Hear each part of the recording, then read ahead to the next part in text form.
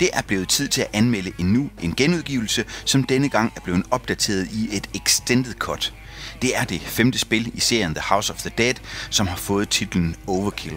Denne titel er oprindeligt udgivet i 2009 til Wii, og nu er det så kommet til PlayStation 3 som en Move-titel. Rock and roll, motherfucker.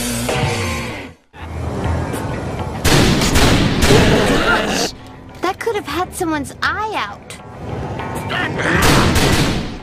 The House of the Dead er et klassisk arkadespil, som du kender fra enhver velassorteret spillehal eller grillbar. Det trækker sine aner helt tilbage til 1996, hvor det første spil så dagens lys. Det er en first-person shooter, hvor du automatisk flyttes fra scene til scene. Det kaldes også for en on-rail shooter. Det betyder, at det eneste, du skal koncentrere dig om, er at sigte og skyde.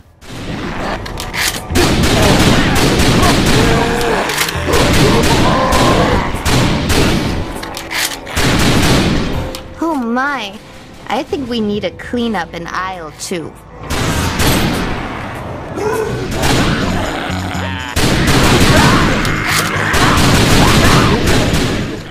Det grafiske udtryk kaldes Grindhouse og er oprindeligt brugt om biografer, som viste film, som kombinerede sex, vold og det meget bizarre. Omslaget har også overskriften More Blood, More Gore, More Strippers, og derfor er det også en move-titel for et voksent publikum. De to helte, Agent G og Isaac Washington, er igen på jagt efter den dybt kriminelle Papa Caesar. Han har udviklet et bizart stof, som i bedste fald muterer mennesker til en zombie-lignende tilstand. De uskyldige beboere i Bayou City, Louisiana, er nu blevet forsøgskaniner, og med hjælp fra de to strippere, Varla Guns og Candy Striper, skal Papa Caesar nu fanges.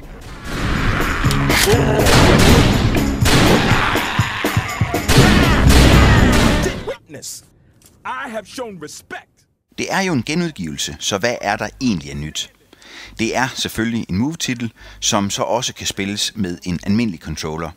Move er faktisk overraskende præcist, og derfor er det helt sikkert med en Move-controller, du skal spille.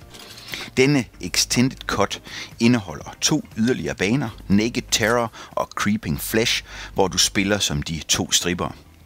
Desuden er der mere bonusmateriale, mere musik, minispillene fra Wii, HD-grafik og selvfølgelig 3D. Så det er faktisk en meget pæn pakke.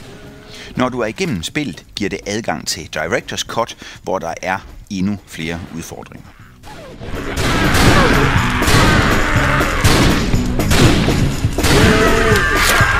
Tell me that was you screaming like a schoolgirl.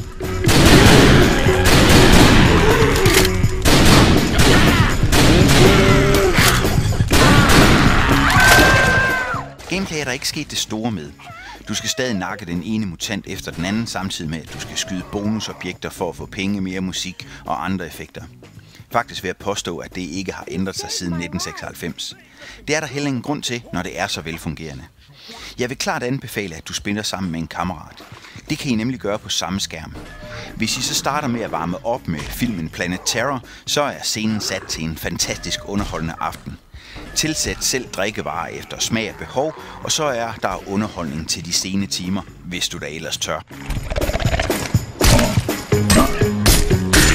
Hammer time.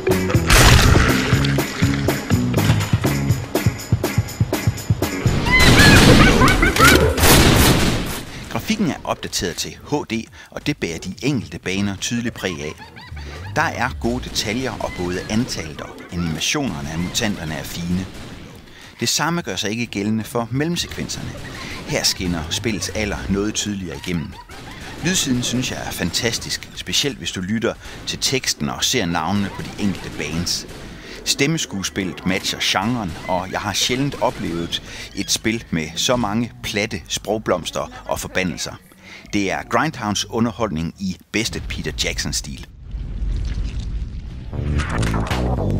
Get ready to be titillated, tantalized, and teased by tasseled titty temptresses. But beware, these kittens have claws. Naked desire, naked lust, naked terror. Adults only. Keep both hands on the controller.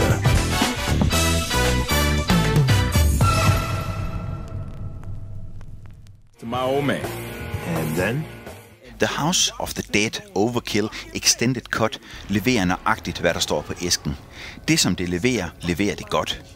Du kan spille det igennem på en aften eller to, uden at det føles som en stor gentagelse. Når du lægger det fra dig, er det hurtigt glemt. Det er et spil med gennemprøvede idéer med en god teknisk kvalitet. Hvis du er til action og specielt til Grindhouse, er det en titel, som jeg kan anbefale. Det fortjener en solid vurdering på 3. God fornøjelse.